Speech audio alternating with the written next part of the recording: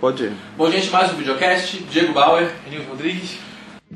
Moonrise Kingdom, um dos filmes que não chegou aos cinemas daqui no ano passado.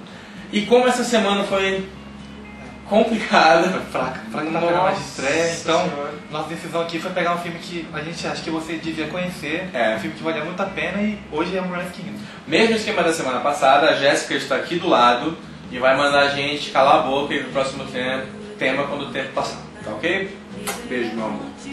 Bom, começar falando do Wes Anderson, né? O Wes Anderson que é um diretor do estilo bem característico, né? É. que as pessoas, muita gente não gosta, muita gente definitivamente não gosta.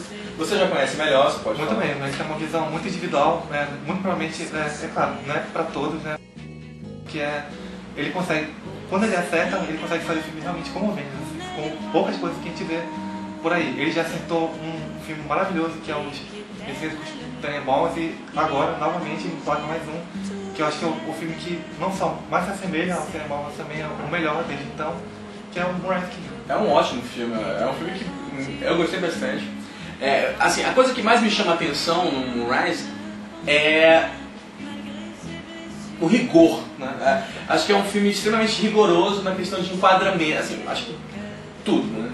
Figurino, direção de arte, tudo está bastante bem pensado, mas os enquadramentos para mim chamam muito a atenção. Assim. É, novamente, voltando ao que a gente estava comentando, é um diretor de uma visão única, assim, É. particularíssima e emprega todos os recursos que ele puder para chegar naquela visão dele. E tem uma mão de ferro, porque os enquadramentos, a a impressão que passa é de que todos, todos, todos os enquadramentos do filme foram milimetricamente pensados por horas e horas e horas e tudo está devidamente no centímetro exato. assim. Agora, claro, é, a gente precisa aqui deixar bem claro que é, de forma alguma, é um filme pesado, engessado, como poderia É. pa- parecer com Aliás- rigor.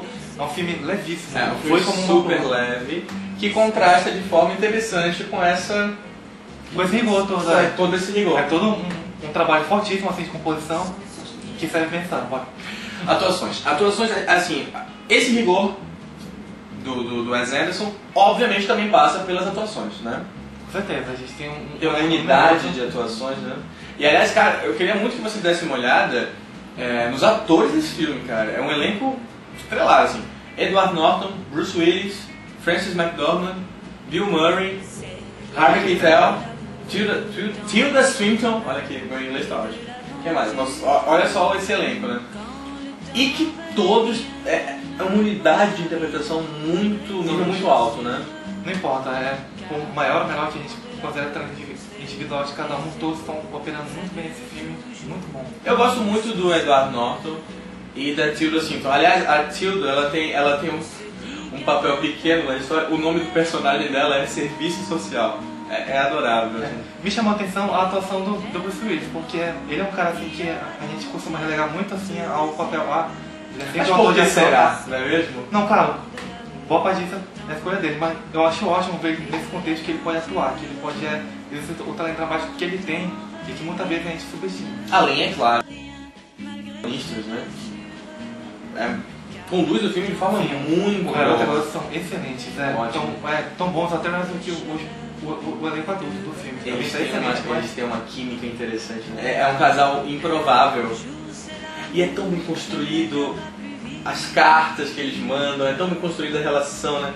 É uma relação de timidez. Exato, o, o resultado é comovente, é, É. é uma atuação É muito tocante, assim. É, é um, maduríssima. é um filme de sessão da tarde no ótimo sentido da coisa, assim. É um excelente filme de sessão da Com tarde. certeza, por favor, se você tiver chance, cara, se procure um DVD, veja na internet, sei lá, dê um jeito, mas não perca esse filme. Eu acho que tem no Laranja Psicodélica. Não, não podia falar, né? Tipo, torrent é, politicamente incorreto. Enfim, falar, né? dê um jeito, mas não perca esse filme, só isso. A Jéssica tá mandando terminar.